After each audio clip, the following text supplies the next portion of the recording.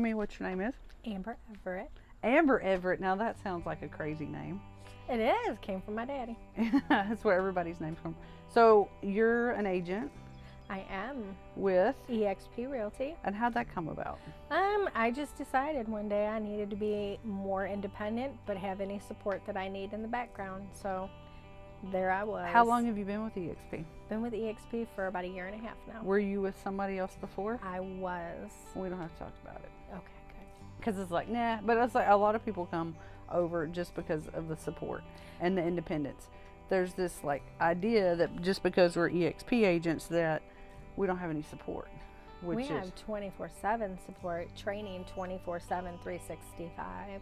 I can pick up my phone and call my broker and have instant conversation. I know, and it's amazing because I was with another brokerage before, and my parents sell real estate, and they're with another brokerage, and they're like, they wait for days or hours or, you know, I'm like, mm, no, no, no, no. And we have like this global network of people, so it's not just people in Tennessee. We can have contacts with everywhere. everywhere.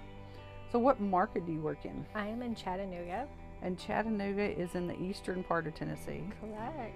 And what kind of real estate do you like to do? I mostly deal with land, but I deal with all expired listings. hmm That's all I deal with. How many listings do you have right now? Currently, I have 43, 44. Three are pending right now. hmm So, how, like, when you say land in Chattanooga, like, what is that? How is that different than land in other parts of the state? Every area is different. Um, I deal mainly in Tennessee, but I also have some. I do have my license in Georgia. I can have a postage size, you know, postage stamp size lot for sale. I could have gated community. I could have 674 acres. I deal with land no matter how small or how big or where it's at. If people are coming to Tennessee and they're looking for land, what's some things that they should be watching out for or paying attention to? when you need the land to perk, you need to make sure that you at least have your electricity because a lot of places in Tennessee is septic and well.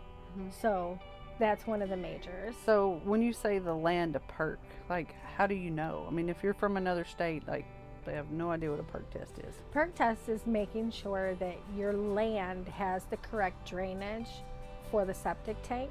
hmm And then you also have to have a separate person come out and drill for a well. hmm So, when they perk it, is that a company that comes out and does that? Or, it is. It is a company that will come out and they test the land.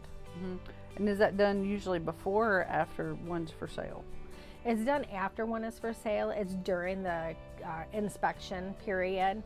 You have, you know, however many days in your inspection, you would have these companies come out and do those tests for you and let you know. And if you have land that doesn't perk, what do you do with it? There's another option. Just because the land doesn't perk, there's always the mound option where you have like land that's built up on a sort of like a slope, not huge, but that can be your septic. So just because it didn't perk, doesn't that's not the end all be all. No. Oh, and if it doesn't no. perk, it makes really good hunting property usually. It does. It could be a place where you go camping at. hmm I mean, there's a lot of different options you can use it for. What are the counties surrounding Chattanooga? Hamilton, Meigs, McMinnville, Bradley, Marion. This is the reason I ask. I always try to encourage people instead of searching for towns, to search for counties. Because there's so many little towns within each county that Oh if you gosh. just search for county, you're gonna miss like, or just search for a town, you're gonna miss for half of it. You do. hmm And if you're not from Tennessee and you want to live in the Chattanooga area, That's still a huge that's Hamil-. Hamilton County, right? It's Hamilton County, but I mean, Marion County is just uh, east or west of hmm Chattanooga. That's a beautiful area. Sequatchie is just north. That's I, my heart is in Dunlap. I'm sorry, but I love that view. It's like when you come up 111 of that overlook. That's like oh like, my god. did you put your lock there? It's like heaven. Yeah, there's Mhm. a lock there.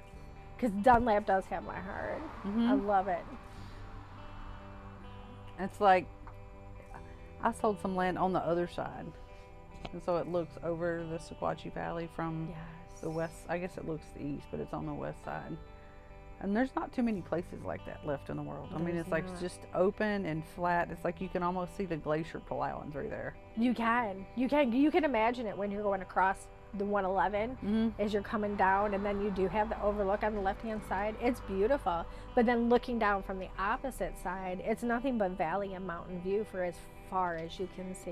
Mm-hmm. It's amazing. So that's Sequatchie County. That's Sequatchie. But if you go up Signal Mountain, you can go take a right, and that runs wreck around through that valley. It does. I don't. What is that area called? You go up Suck Creek. Yeah, Suck Creek. Yeah, and Yeah. that just winds you, and that brings you down in Whitwell. And Whitwell. that is just like one of those real small little towns. But it's beautiful.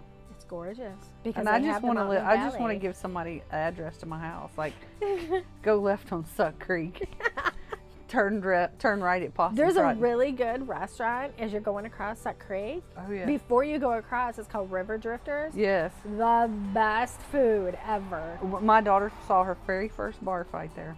Did she really? hmm That's our my daughter's favorite restaurant. Yeah, we went because we went.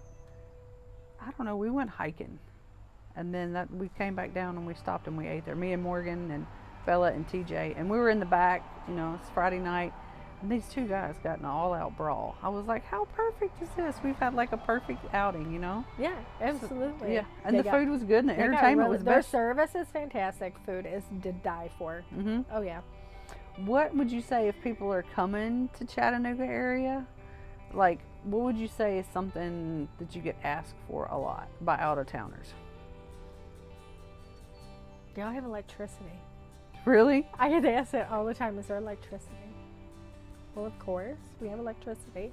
Absolutely. And our front teeth. Yeah, we have our front teeth too. And Eh. yeah, we do like sitting on our porch. We do drink a lot of sweet tea. hmm And we just relax here.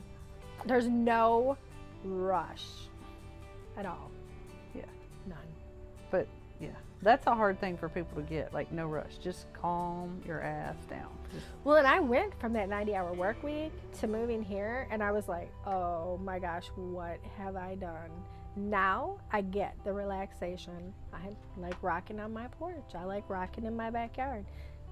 Just chill, just chill. Welcome to Chattanooga. Just chill. just chill. Thank you very much.